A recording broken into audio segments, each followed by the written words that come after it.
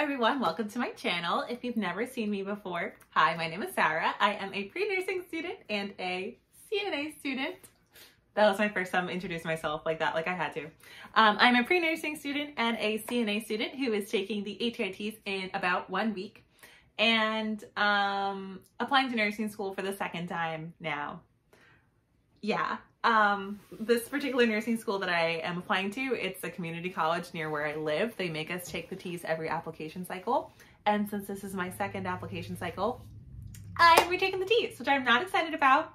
Um, I did procrastinate just a little bit. Um, and so I'm making this video to help people in my situation ace the TEAS with one week to study.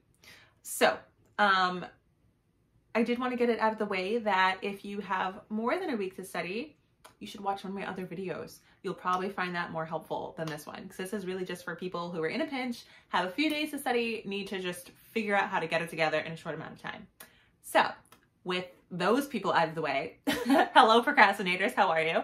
I am going to bring you along with how to study for the HITs in one week. Um, first, I'm going to just do an overall breakdown of my strategy of, you know, how to make sure we don't go crazy um, how to make sure we stay confident in our abilities and our skills. And um, then I will do a little breakdown of each of the sections, things that are probably worth studying, things that may not be worth studying as you're prioritizing things. Um, so yeah, let's get into it. Okay, so um, basically what I recommend is to get yourself an ATI practice test. Um, I got two and I just got the study package. I got this months ago, guys.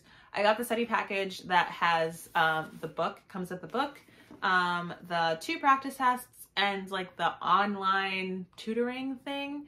Um, you might want to get the package if you think it's going to be worth it. If you only have a week, it might not be.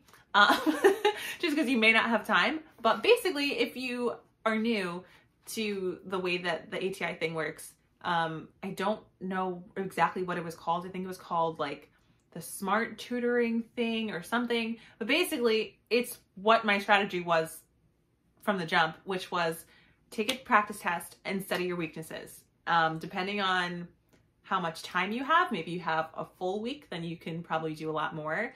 Um, depending on how many hours per day you have. If you only have like a few days or a day or two, I would just literally do anything you can. anything will help. Um, so what I'm doing, I took a practice test and I am using this book um, to fill in the gaps basically. My weaknesses um, for this particular practice test that I took uh, was math, believe it or not, because I made a lot of silly mistakes. Um, and then my second weakest was, I'm just using myself as an example. My second weak weakest was English, surprise, surprise. Um, so I'm just using myself as, as, an example. So I took a practice test and I'm going to focus on the aspects of the reading, reading, of the English practice test that I got wrong. Um, this way I will fill in the gaps and kind of bring myself up to speed with where I should be. I really didn't do bad on my practice test, but it's a good thing. Um, but yeah, so basically what I'm trying to say is step one, is to get yourself a practice test. Step two, take said practice test. And then step three, study the things you got wrong. The reason why I suggest the ATI practice test specifically is because when you're done, I'll just show you what the computer looks like.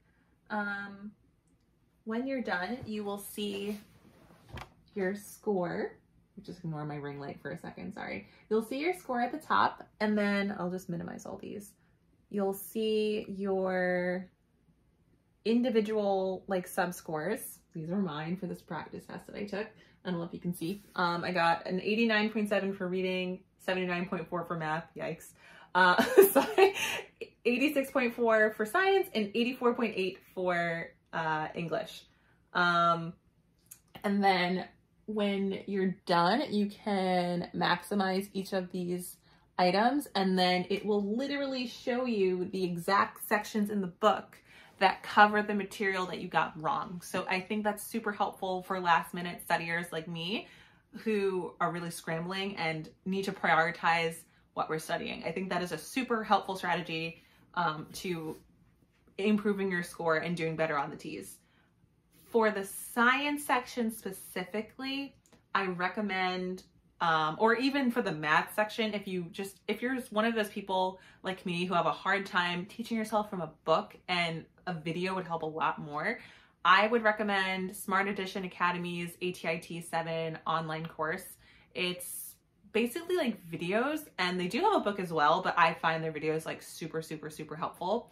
And I do have an affiliate link down below that you can use. It doesn't cost anything extra for you, but it does help my channel. Um, so if you do want to purchase a Smart Edition ATIT 7 online course, um, you can help me buy my nursing school textbooks and use the link below.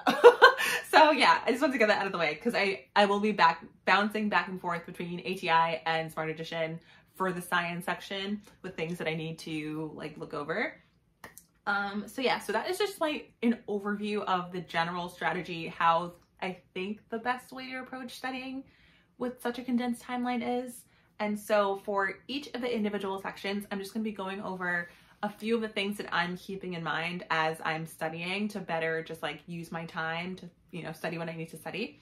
Um, so for the reading section, I have picked up along the way that I think I think my things were make inferences and draw conclusions about a text purpose and meaning. So making logical logical conclusions. Um, something that helped me with figuring out how to do this. You kind of, when looking at your answer choices, you you kind of have to avoid like jumping to the conclusion yourself based off of the text and solely going off of what the text says. If one of the answer choices is supported by what the text says directly, that's probably your right answer if you have to like make inferences yourself, that may not be the best one. If it's talking about a logical conclusion, talking about inference, something else. That is something else entirely. Like I just can't help you there. But logical conclusions based off what the text says, um, it's probably going to be something like that. However, when being asked about um, like which sentence summarizes the passage the best, your answer probably isn't going to match one of the sentences. If your answer choice too closely matches one of the sentences in the passage, the choice is probably a supporting detail and not a summary. so just know that. I'm I'm sure it's common knowledge to some of you, but for me it wasn't when I was sitting and so that was something like I actually like learned as I was studying for this test. Um so that might be helpful for some people. I don't know. Um so then for the math section, I wouldn't necessarily go out memorizing every single conversion, every single formula, because they do give you some formulas and conversions. Um, but just to be safe, I would memorize the area of a circle. I would memorize the area of a trapezoid, triangle, those sort of things. Um, I would memorize the conversions for feet to yards, if you don't already know inches to feet. Um, what else? Pounds to kilogram or pounds to kilograms. Um, what is the other one I'm thinking of? Oh, ounces to pounds. Just simple conversions like that, I would memorize. Um, if you have extra time, you could definitely do the metric system with milliliters to liters, kiloliters to whatever. Um, for me that just comes easy because everything's just based off of 10 but if you don't if you don't know that and you have extra time it probably wouldn't hurt but i wouldn't necessarily memorize like inches to miles for example. You probably don't need to know that.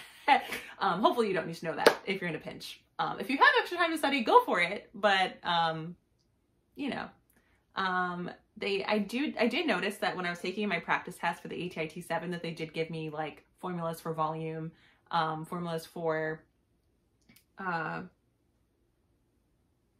what is the one I'm thinking of?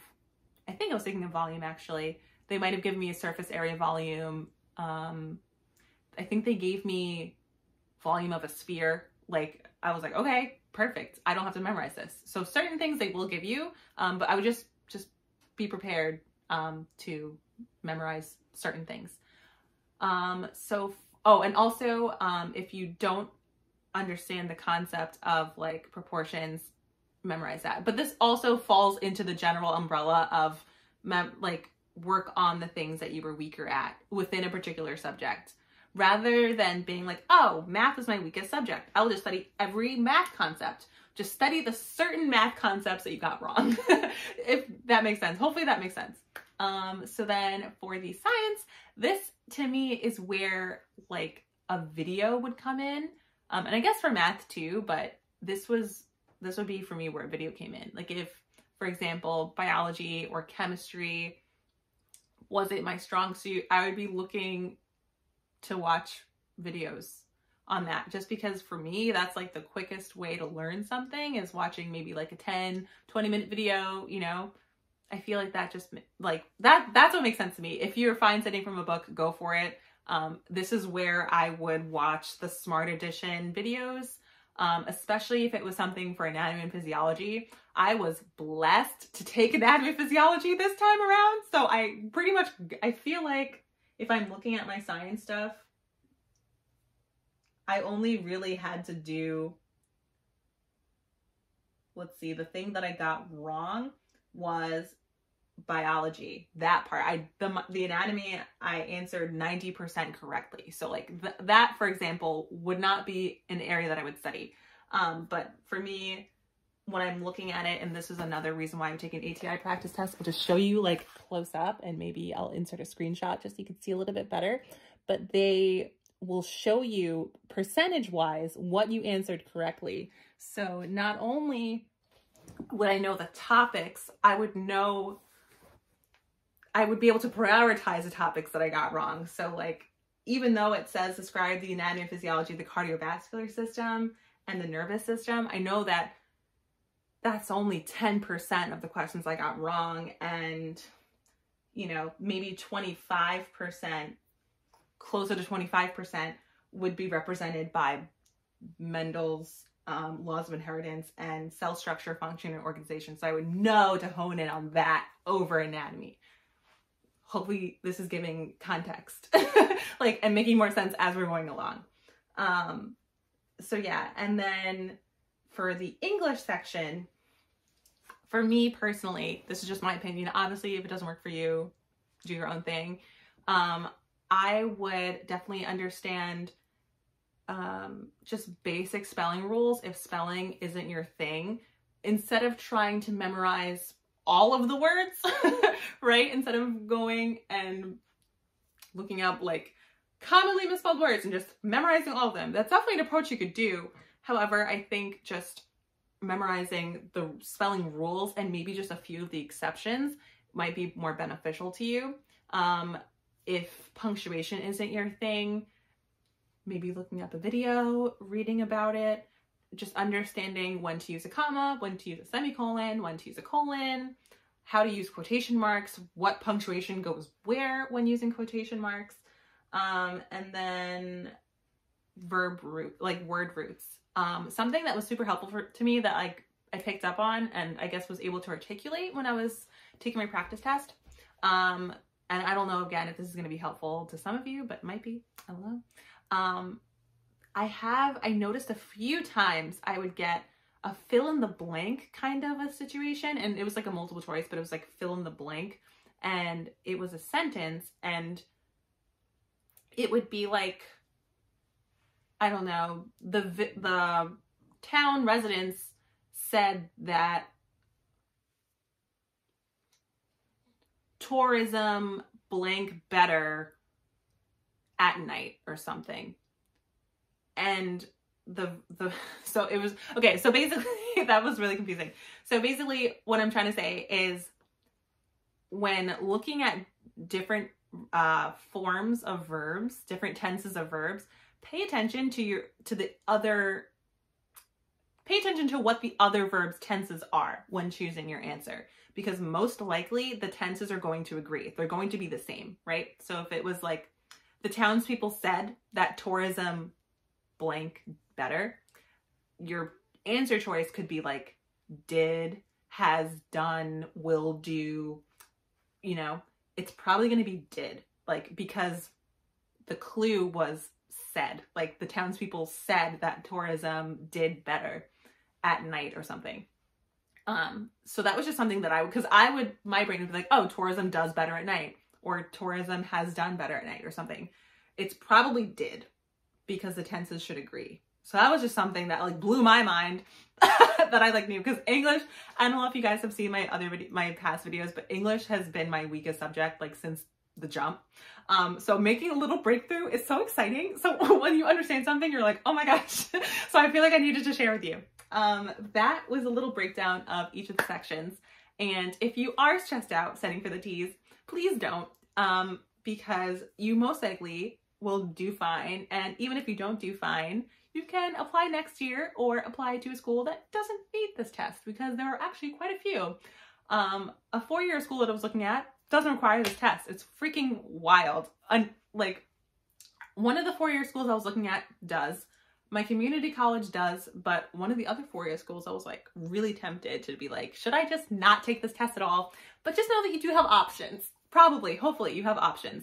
Um, whether it's pursuing an LPN first and then an RN, you know, retaking it, if your school lets you retake it. I don't really have the time to retake it in my case, but um, you know, if you can retake it, reapply next year, things will be fine. Um, I believe in you. And I started this channel to help people reach their goals. And so I can be less alone in the process, but to help people reach their goals also. so hopefully this video is helpful to you. Um, if you want me to make more videos like this in the future, please let me know in the comments. I read all of them. Um, if I don't reply to one or two, I might have missed them. Um, so I'm really sorry, but I read, I do read all of them. Um, so yeah, yeah. Um, if you've made it this far in the video, thank you so, so much for watching.